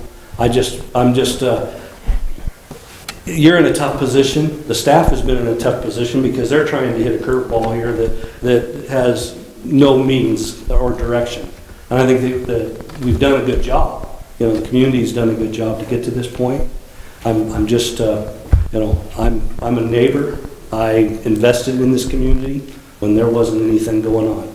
I mean, Ruben walked out of his uh, place down there when I opened up shop down there and looked at me and kind of shook his head like, are you sure? And, you know, I've, I've been committed here. I think uh, a brewery is a great thing, not opposed to that. I think they'll have success. I know Bobby, I've known him for a long time. He's uh, got a lot of energy and it's going to take a lot of energy. So, um, with that, I would just like you to maybe reconsider, send it back to the appraiser and see if uh, they have a different opinion. If they don't have a different opinion, then you can tell me to be quiet. Thank you. Thank you. Mayor, may I, may make Yes. a comment? You're, you're, you're asking us to, to take it back to the appraiser just because of the parking lot, because the parking lot, the parking lot has not been committed to yet. Okay, all those drawings are preliminary. We have not even, this is the first time we've even mentioned to the, the parking lot at this point in time. Uh, you know, we, we, we still have budgetary constraints. Are we gonna make every effort to get it done? Yes, we are. Are we gonna take the fifty thousand that they've asked to put into it when we do build that parking lot? It will be done. I don't think it, it's necessary to take it back out because we haven't made a commitment for that parking lot. And when the RFP was first put out, it was, had nothing to do with the parking, it had to do with the structure itself. Um, Also, on the parking, I would just remind everyone that this parking lot is for city government, it's for people shopping downtown, it's for their business, they'll be using it at night. I I don't, what, I didn't remember reading your hours. Are you going to be open all day and all night, both? Lunch and dinner. Lunch and dinner? I mean, it's going to, it's not just for them. I, I appreciate that, and uh, I'm, I'm not uh, disputing that, but something that just came up is, is very interesting to me. So you're gonna allow them to open up a business without uh, an improved parking lot? That's, that's not, that's not what I said. I just said that when it was originally bid out, I don't believe the, the parking lot was the intent. Okay, but the Okay, parking lot has been surfaced planned in... For several years, but it Yeah. has not come to fruition just yet. Okay, but it has, uh, it it is a key element to the overall development of that property. It is a parking lot.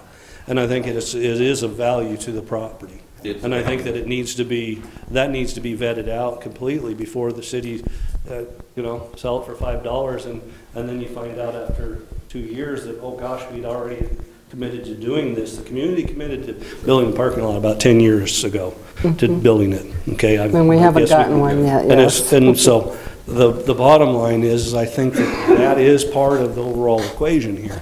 And if the city can, if the community, the city, uh, being the, the community, could, uh, benefit by just having the appraiser look at that and say, hey, uh, if you added the parking lot, it's gonna make this increase in value, or it doesn't matter at all. I don't think that that's an extreme thing to ask for, especially in this situation. Cer- Certainly, I think that Yeah. that parking lot's going to raise the value of all the properties around that area, including yours. Mhm. It's- Oh, I, I, no doubt. I mean, that's, uh, that's been the situation, you know. But the, the bottom line is, is that what the, is, are we, did he look at it with that in mind? I don't think so. So I think that there, that needs to be part of the, the overall assessment, you know, because I, you know, I, I heard some more information tonight and all that. I just want the community to get the best deal, okay? I don't want to take advantage of them, but I don't want to, the, uh, the community be taken advantage of either. So I just ask that. Um, I appreciate the amount of work that's gone into it. You know, I know there's been a lot of people talking about this and a lot of things. Mayor, you and I have talked about it a couple times. And, and I've gained a, uh, appreciation for where you're at and what you've done. And I, I appreciate that. I just think that there's more that we can do here and look at this to make sure that it, in fact, uh, does account for everything that's been talked about and, and agreed to. Uh, Certainly, I understand that, that you're not committing to building this parking lot tomorrow, but that has been a commitment in the past, and there's been quite a bit of resources put, it- put towards those commitments. And I, I don't think that the council's going to change their, their direction on that. I've seen, you know, positive steps on that, so anyhow, with that, that's, that's my opinion. Uh, I look forward to it working out and everybody being happy. Right now, I think that there's just a little bit more information that needs to be uh, taken care of. Thank you. Thank you for your time. We appreciate your comments. Um, Madam if- Mayor? Yes. I, I just would like to ask Rudy, uh, as far as the time frame for building this parking lot that hasn't been determined yet, I mean, eh, are, There- there- what there- direction are we going? Right now, that's not, that's not my call. That's something that, that uh, the city manager has to look at and make a decision. Will it come into this upcoming year budget? I don't know. No, but I would correct you, it's the council that will make the decision. Oh, I mean, uh, well, I guess it But he'll I'm make it- asking is that yeah. He'll make the decision when he- he's ready to put it in before council, let's put it that way. Council make the decision. Is it, will it be up this coming budget? That's not my call. It- We're right now putting it together, our capital plan for this upcoming Yeah, year. well, that's my concern too, is, is where, where the funds are gonna come out of to do this at this time. Because I know in the past, when we've had uh, special requests come in for funding from the city, uh, you've been pretty adamant that, um, you know, uh, we're riding a fine line here. And, and at this point, uh, taking out the 50,000, there's $167,000 roughly estimated that this thing is going to cost. And uh, um, my concern was, is did we have a timeline? And we don't. And where is this money that the public's going to put into this parking lot coming from? Again, that, that'll be a budgetary decision we'll have to do when we put all of our monies together, to find out where, where we can and cannot fund and what we, what can move forward with. Okay. And I think, and let me mention this right now, I think the only other thing that bothered me when I read this was, and, and it's fine and dandy to have the hundred and fifty thousand dollars for the property, because I, I think it's worth it. But I think what bothered me is, it says, as long as the city commits at least fifty thousand dollars toward establishing public parking par- parcel. And considering this is the people's building, the community's building, it's the community's money, I, it kind of bothered me that we're getting direction where to spend the, the public's money, you know. I, I, and, and maybe it's just the way this is written out. Maybe it is that come back with, we'll give you a hundred thousand dollars and we will donate fifty thousand, or maybe even a hundred thousand towards this parking lot, I felt better about it. But that one little sentence there kind of just stuck on me. And Madam Mayor, to, Yes. to Councilman Hadig's point, uh, I think the, the proposers offered to, to structure it that way. I, I balked at that because it's really, if it's bargained for by definition, it's not a gift. A- And I think they proposed to make it a donation, but if it's a donation that's part of the exchange of promises between parties, it's part of the contract, so it's part of the purchase price.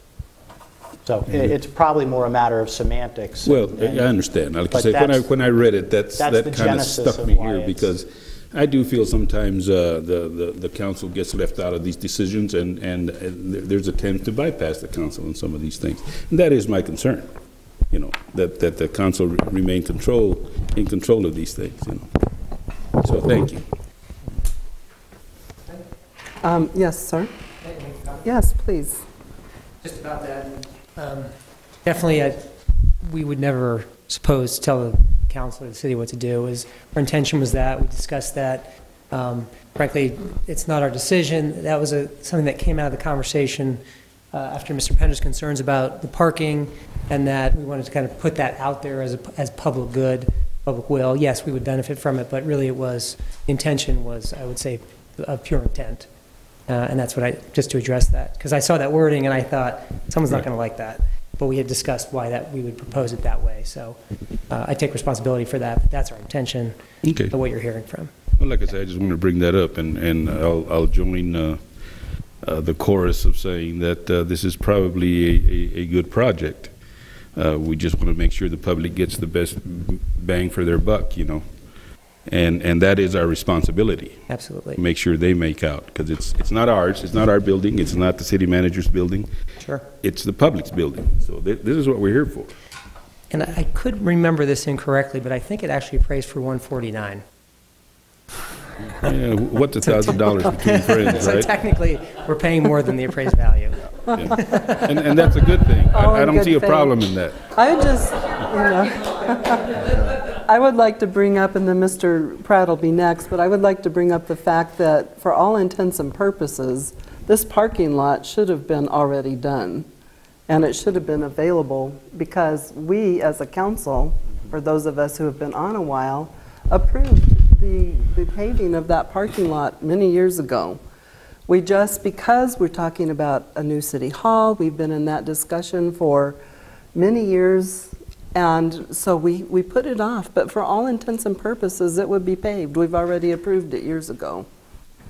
And that was for the benefit of the citizens. Well, there, there's a lot of things that have been improved. uh, That we didn't approved get that- that done. Haven't been done Right. and, and bypassed and forgotten and, and so on and so I forth. haven't forgotten that And, parking and lot, let me tell you something, whether they park on a blacktop or, or, or dirt, it's not gonna make any difference. If People are gonna go there, they're gonna go there. Right. So I, I- you know, it's, Right.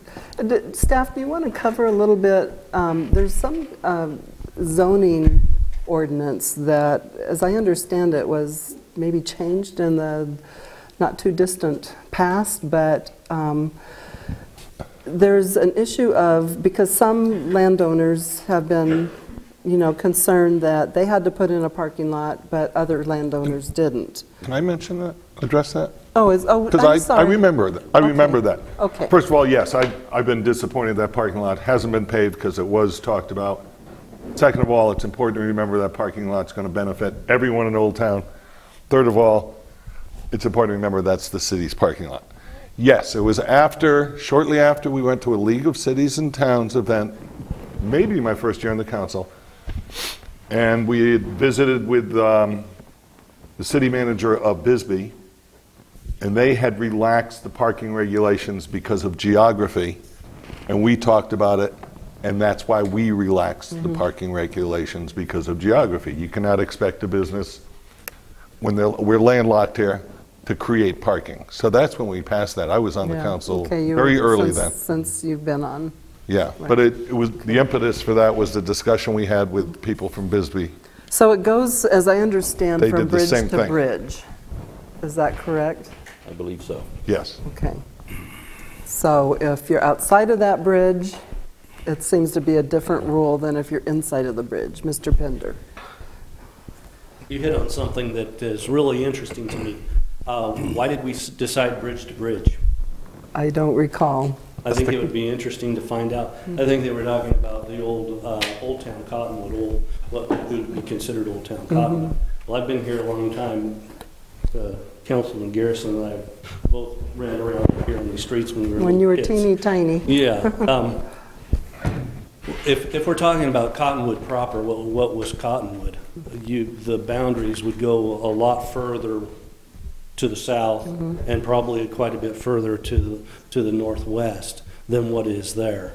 I think it was just kind of an arbitrary decision that's, that's become a real problem for people. You know, it, the, the same conditions happen uh, on the other side of the bridge as happen on this side of the bridge. And so I think that that really needs to be vetted out too. So we could. Where is, yeah. where is the boundary? I can tell you where Clemenceau used to be. I can tell you where some, uh, we used to consider Smelter City. I can, I can draw it on a map for you. I'm sure there's some councilors here that could do that too. And everything else was Cottonwood.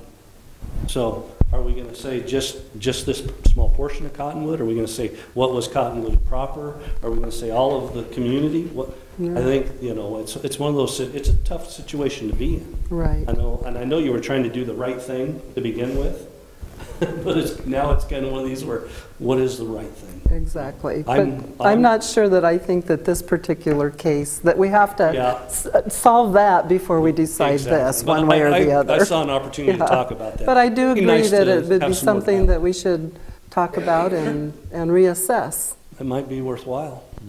Thank you. You're welcome. Mr. Scanlon, Pat Scanlon?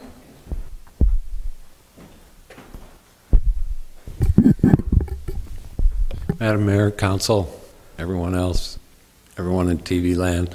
Um, I'm excited about this deal, but for different reasons than everyone else.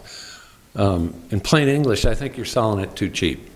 I don't think that it's in as bad a shape as everyone is saying it is, and I think that it's going to take a lot more than $500,000 to bring this thing up to speed. The other thing is, is that it sounded, and I don't know if I was hearing what I was hearing, or maybe I wasn't. But Ruben asked about it. Tom Pender's talking about it. Um, I think it's a great deal to make an offer to the community, to the council, or anyone for $150,000 as long as you promise to spend $50,000 of that improving the value of my property. I think, and I'm not an appraiser, and I'm not taking issue with the guy's appraisal, but please remember that the collapse of 2008 was based on appraisals that ended up being half of what they were really worth. And so I think I pretty much told you what I think of appraisals. It's worth what you can get for it. I think you can get more for it. I think it's going to take more than $500,000 to bring that two-story building up to speed. And in the same breath, I want to say that I don't think that it is in near as bad a shape as it's being portrayed. because I think that land is worth more than $100,000, which is basically what the city is supposedly going to take from it, um, if there's no building there, because times are changing. Things have moved along in Cottonwood, whether the government's involved or not. It was bound to happen unless, unless everything I learned is not valid, and I've been fixing up old buildings for a long time. If it's there and you fix it up, people are going to come and use it if you've got a good thing. And so I agree with what Ruben said about if you got a good thing going, that parking lot is just fine with rock on it. We can, we can spend $200,000 and put asphalt on there, but it's not going to park any more cars. It will raise the property of people's value, uh, value of people's property, though. And so I think pea gravel is a good, good idea. It's cheaper and it's about the same difference and it hasn't have as bad a runoff, I don't think. But as far as the, as far as the value of the thing in the appraisal, I agree with what Tom Pender said, except the devil is in the details, you know? It's like, far be it from me, if I was selling a piece of property to somebody, and that's why I think you guys have a tough spot. If I sell it to them and say, okay, I'll sell it to you for $100,000, but you have to prove to me that you have enough money in the bank to do what you say you're going to do to this junky old piece of property I'm selling to you. Well, I wouldn't sell it to anybody. Um, and I agree that everything was transparent enough. I agree that, uh, but I also want to say that um, I don't think anybody was out beating the bushes trying to find somebody to come up with the dough to buy that thing, uh, because so many people didn't know about it. Probably because they don't pay attention, like me, until it's easier to criticize after the fact. Well, I, I'm sorry, I think that building is worth probably as much as three times more than that. And if you're going to improve the parking lot to boot, it's not going to be worth that. But you can't appraise things based on what you haven't done yet. You got to appraise them based on right now. The other thing is, is by decreasing it to only the footprint of the building, for the person buying the building, property taxes exponentially. And so if the town's going to maintain a free parking lot, um, and, and put that in, or just draw lines on what's there, that's much better, because if I was buying it, I wouldn't want to own the parking lot. You own the parking lot, and you pay the taxes on it instead of me, and I'll use it. Uh, Which is not to say that I I don't have anything against the brewery, but if they're tied in with a brewery out of Flagstaff, where's that brewery at tonight? That's going to provide the expertise to run this thing, that's going to make it a worthwhile risk for the town. So, all those things said, I would request you guys say timeout, like Tom Pender was suggesting, and I don't know that you can get an appraisal based on what we might do someday, but I think that that building's worth more money than that. And that's it. Thank you. We appreciate your thoughts. One thing about um, the parking lot also is that the original idea was that they would have a larger footprint and they would create their own parking. But the council, and they were very willing to do that, but the council, at least I was concerned that I didn't want to let that land go. I wanted the city to be in charge of that parking lot, not them, because they're right in the corner and there's a driveway there. They could just say, no, no cars, no other cars come here. They'd have a lot of ability to impact parking. And so I wanted the council or the city, whoever in the future, I wanted them to be in charge of that parking lot on behalf of the public. And so that is an issue that they, they were willing to, and that's why the original appraisal was more. Um, So they were willing to do a parking lot, but council was concerned about handing that corner lot over to someone else's ability to cause the public not to be able to use it. Um, Lonnie, if you want to come up and, It's funny how my first name. can you, yeah. Thank you, that's okay. Um, I've been listening, I've been gone for a month, and I had the uh, luck to be able to speak to city council over in Costa Mesa where I was, and let them know what we're doing here. And so they had some very interesting feedback on that.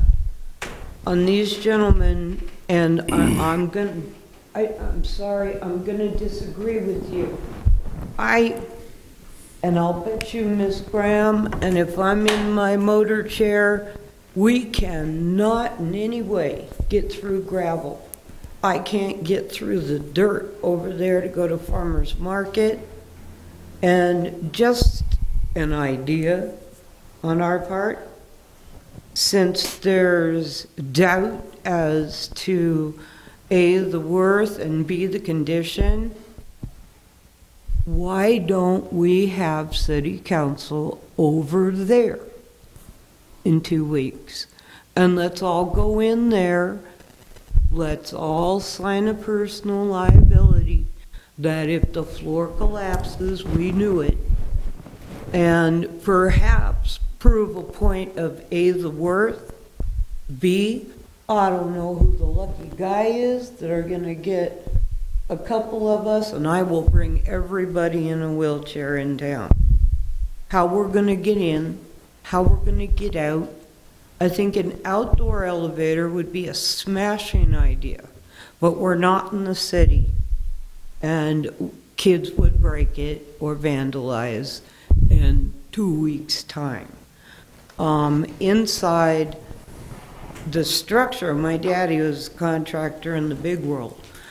Uh, inside elevators are going to take uh, a lot more of the engineering that has to pass that lift.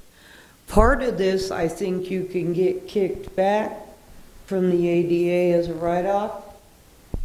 But being the one who's out here photographing every parking lot, sidewalk, you've heard me, and I still not going away.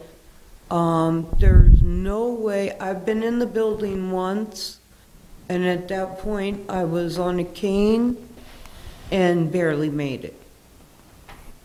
And, uh, you know, echo-wise, I wasn't under the impression, I was there with the Yes the Arc program. I wasn't under any impression that we were gonna lose a floor out from under us. You- The echo in the room, you can tell. Um, But it, it might be a very valid idea for us to all go over there and meet over there and look at it and feel it, you know? Table, stand. If I could stand, I would. I can, I'm not gonna. Um, uh, Does that sound like a reasonable idea to think about?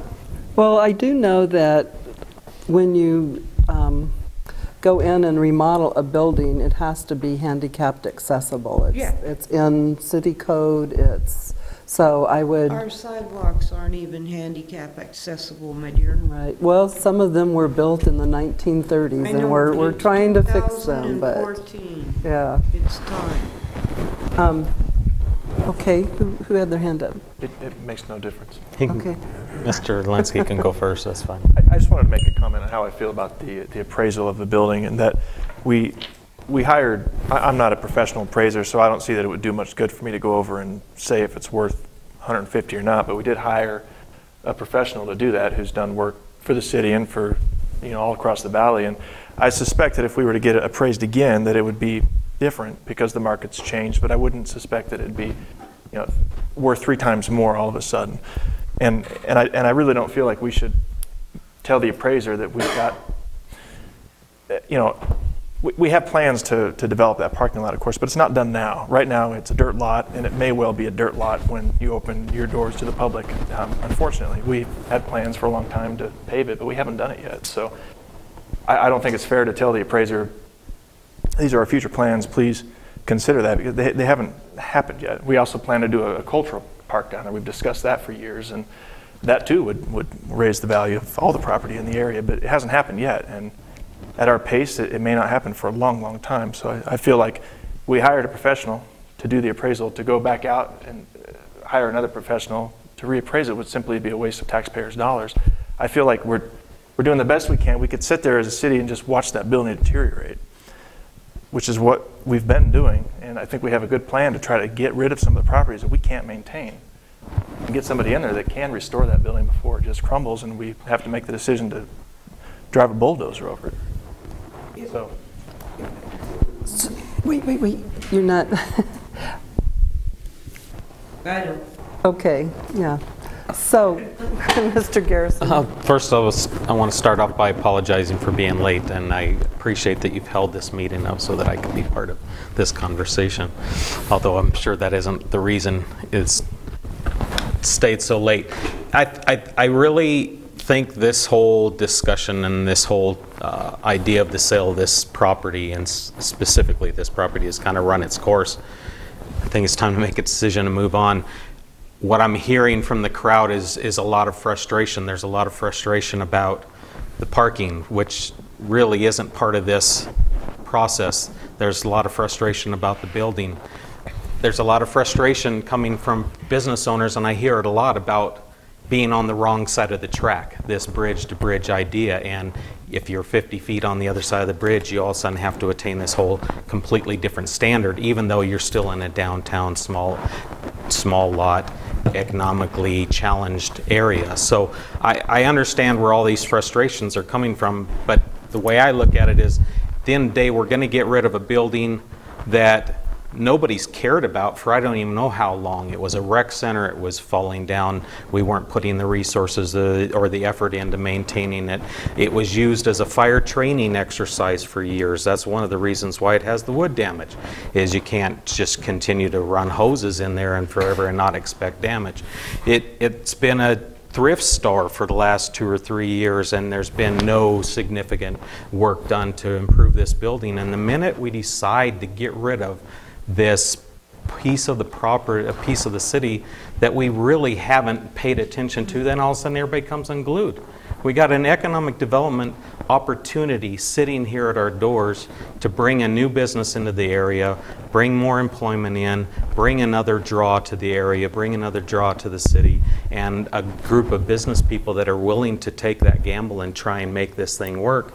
And all we're hearing is all the problems with selling the property and the parking and, and what side of the bridge you're on and that type of stuff. And I appreciate all those, but unfortunately, that's not, in my mind, what this decision is about. It leads to a bigger discussion, and I think we need to have those discussions, but I think we need to get back to having a discussion about what this is, is selling this piece of property and moving forward with creating an economic driver for the area.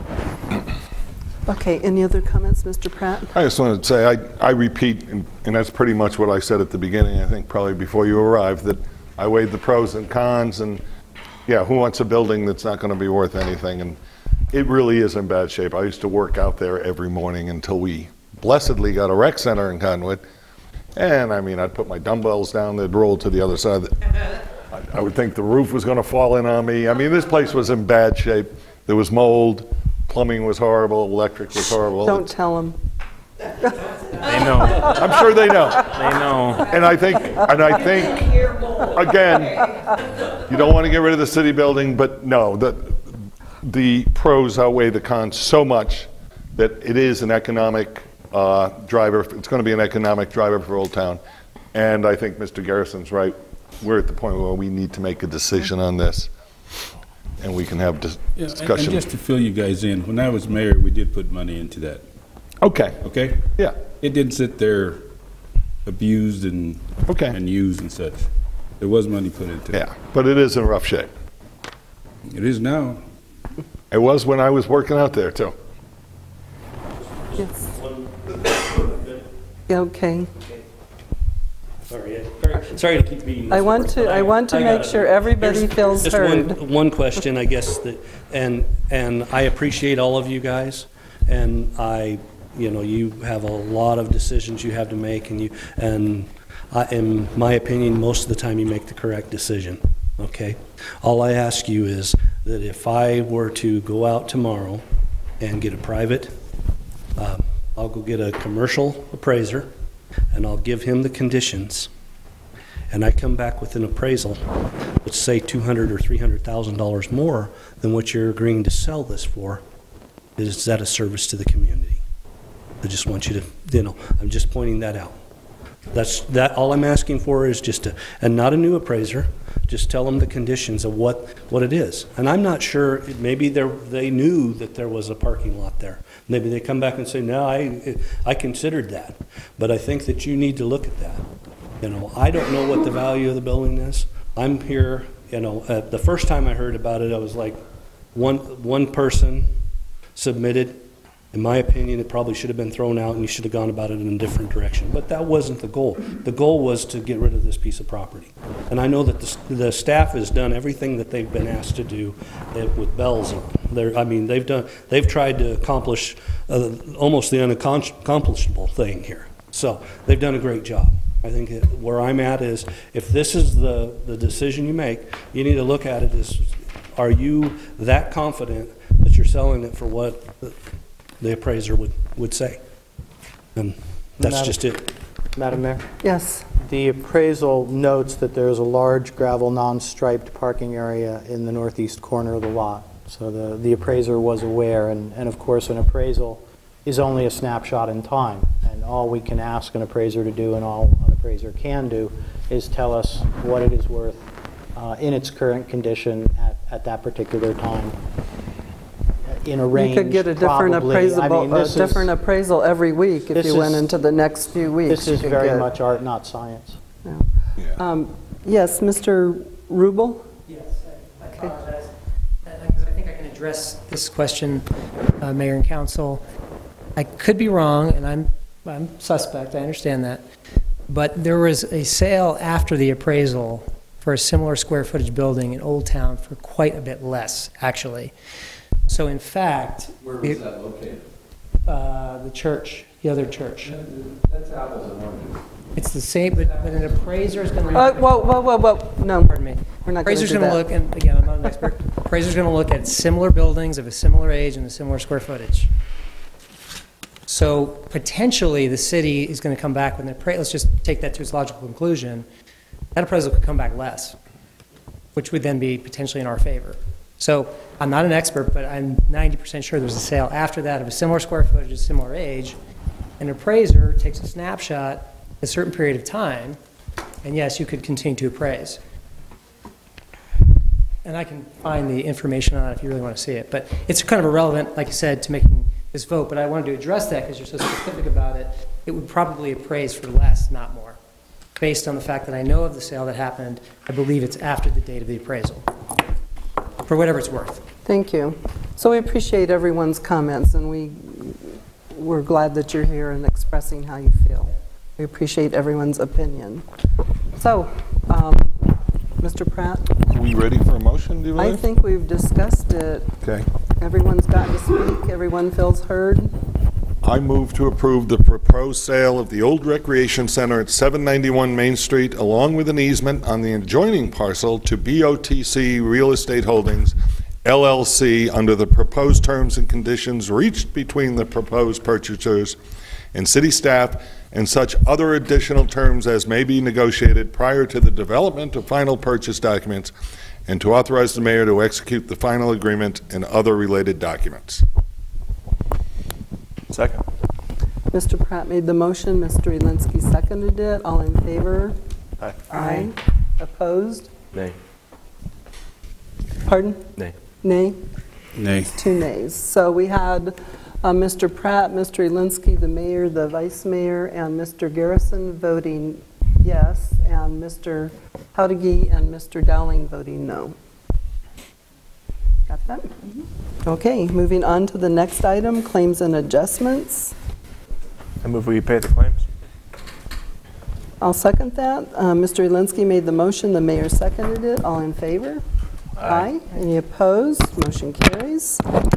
Um, For the executive session, um, the annual review of the city manager pursuant to ARS, discussion or consideration of employment, assignment, appointment, promotion, demotion, dismissal, salaries, disciplining, or resignation of a public officer, appointee, or employee of any public body, except that with the exception of salary discussions, an officer, appointee, or employee may demand that the discussion or consideration occur At a public meeting, the council may vote to convene into executive session, subject to the city manager's right to compel the council to discuss this matter in um, open meeting. And then item number 12 is also discussion and possible action regarding the city manager's employment agreement. And the city manager um, got the flu yesterday and hadn't recovered today and will not be here tonight, so I would suggest that we um, postpone this item. Sounds good. Okay, do we need a, do we need a vote on that? Okay. So um, I move to adjourn. The mayor made the motion, the vice mayor seconded it. All in favor? Aye. Any opposed?